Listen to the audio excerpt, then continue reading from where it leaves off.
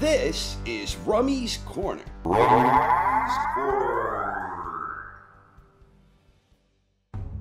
Last Saturday from Saitama, Japan, in a middleweight championship contest that was broadcast on the still relatively new streaming app service known as DAZN, Gennady Golovkin put his IBF middleweight championship on the line against WBA super duper middleweight champion Ryota Murata. This actually wound up being a hell of a nice scrap that was essentially a tactical slugfest that saw both champions landing an awful lot of hard flush punches. Over the first four rounds, things were heated and competitive. Where Gennady tended to start the round strong, Murata was proving durable, and he was often firing back strong in the later portions of the round. At times, Golovkin was looking old and slow, and he almost gave the impression of a fighter who no longer has the gas tank to pull the trigger when he otherwise may have done so just a few short years ago. Golovkin and Murata were both displaying strong chins, and they both came to fight. Around the fifth round, Murata was becoming far more reluctant to walk into the firepower of Triple G, and this trend progressed during the ensuing rounds, where Golovkin was throwing his jab with authority, and he was landing a number of menacing left hooks and sneaky short uppercuts. It was a very Golovkin esque performance where he grinded down his opponent with a blend of power and technical prowess in a vintage methodical performance. Golovkin was breaking him down physically and mentally before dropping him hard in round 9, which prompted his corner to throw in the towel. So Golovkin is now the unified IBF WBA Super Duper Middleweight Champion, where he has now made two title defenses since reclaiming a title following his loss to Canelo Alvarez. And that's the focus now for Golovkin. He did his part. And now Canelo has an upcoming match against Dmitry Bivol on May 7th, which incidentally, I hope to finish a prediction video on that one sometime in the relatively near future. Assuming a Canelo victory, which is not a given, that should pave the way to a long awaited third encounter between Canelo and Golovkin. And even if Bivol managed to score the upset, a third encounter could still be in the cards regardless. Their second encounter happened all the way back in September 2018, almost exactly a year to the day after their controversial draw in the first meeting. The rematch was a close and competitive affair, with a few very tricky rounds to score along the way. And at the conclusion of 12 hard fought rounds, Canelo was awarded a 12 round majority decision. To this day, this is the only official loss on Golovkin's record, although unofficially, there are a good number of fans who believe that Golovkin deserved a nod in both encounters. Regardless of your opinions on that, there is little argument that Canelo performed much better in the rematch, and he even managed to improve while making a drastic shift in his approach and strategy. Since that fight, these two have been on diverging paths, albeit both successful and unblemished paths to date. Golovkin has now won four fights in a row since then. Meanwhile, Canelo has won seven in a row, with an eighth fight in the very near future. And during that stretch, Canelo has looked fantastic, where he seems to be showing steady improvement.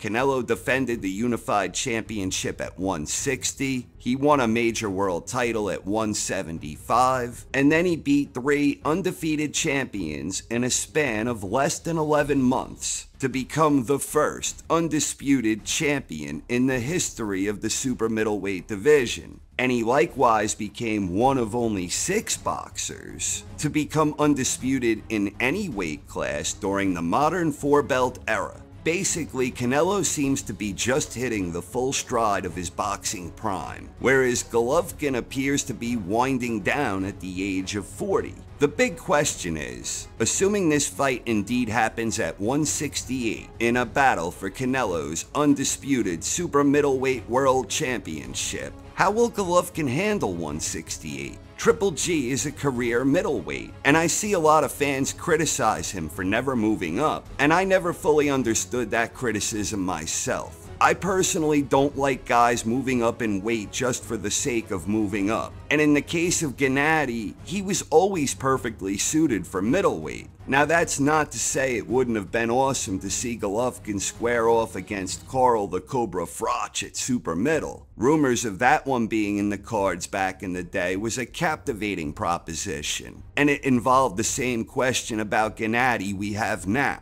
about his ability to remain effective at 168 when he's perfectly suited for 160. Personally, at that time I favored Froch in that matchup. Not that my opinion means a damn thing. My subpar track record of making predictions is well established. I'm not exactly Quasimodo over here. I mean Nostradamus. You know Quasimodo predicted all this. Oof, Maron.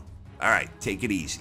Not that I thought it would have been a give me for Froch. And looking back now, Golovkin may have had a better chance to win than I thought at that time. After all, Gennady is a proven battle tested warrior, but so was Froch. At that time, my line of thinking was the Cobra was a well established, proven elite boxer at 168.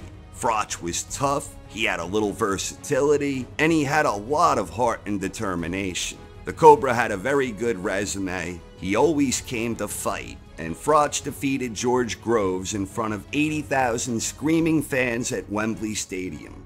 The point is, even with his great abundance of talent, it was difficult to know how well Golovkin's unique blend of assets would translate 8 pounds north. Would his power carry up? Would his stamina be the same? How well would he absorb the power of a naturally bigger super middleweight? We never found out the answer to that question back then. And now that Golovkin is 40 where he appears to be in a slow visible decline, that question becomes even more pronounced. Especially since Canelo seems to be right at the height of his powers.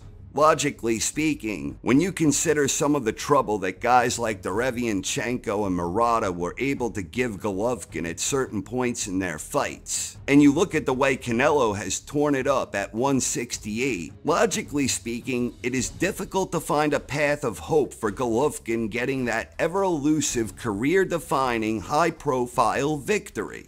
Canelo seems to handle jumping around different weight classes effectively, so pinning any hopes on negative effects from bouncing around weight seems unlikely. Although I do question how much longer he can effectively get away with doing that sort of thing. But the one saving grace that should give Gennady some hope, at least as I see it, is the fire clearly still burns. I think legacy is something that is important to Golovkin, and he proved that to me against Murata. Sure, he got tagged good a few times, and he absorbed some unpleasant leather downstairs, but he maintained focus, he stayed the course, and he saw it through in workman-like methodical fashion before ultimately breaking Murata down. It is difficult to imagine a winning scenario where a 40 year old Golovkin moving up in weight to face his younger former conqueror, who has only gotten better since last they met. But you know the old saying, styles make fights and these two styles clashed in a captivatingly competitive rivalry. I believe this might well turn out to be a situation like the Pacquiao Marquez rivalry, where most people thought Pacquiao would steamroll him in the third encounter, that wound up being uber competitive, before another wild and competitive fourth encounter that saw Juan Manuel Marquez finally get the victory he always believed he deserved in their previous matches.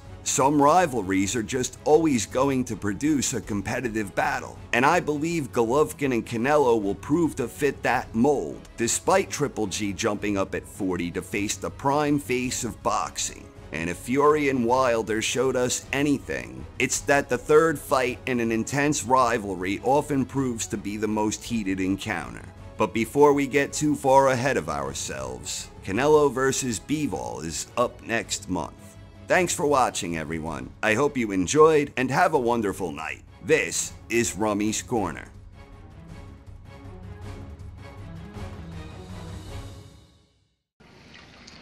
You know, Quasimodo predicted all this.